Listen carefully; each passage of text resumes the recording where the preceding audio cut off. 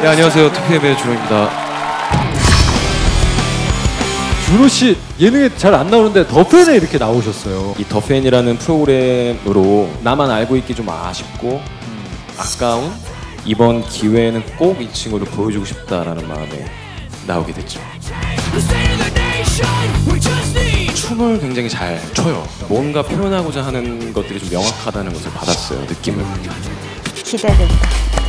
단도직입적으로 말씀드리자면은 비밀 경기라고 좀 할 수 있겠는데요. 그럼 오늘 소개해 주세요.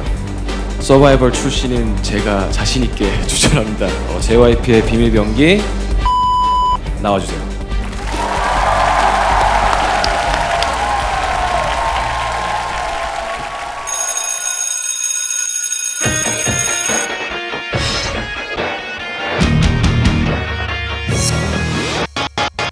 아 왜 내가 떨리냐 진짜. 제가 제 데뷔 무대를 본 것처럼 정신이 없는데